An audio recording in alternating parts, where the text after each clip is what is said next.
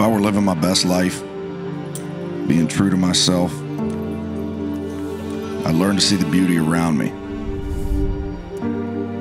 That was always there. Simple, but freeing. Powerful. The feeling of something real that you can't describe. But you know it when that feeling washes over you. And you know you're right where you're meant to be. If I were honest with myself,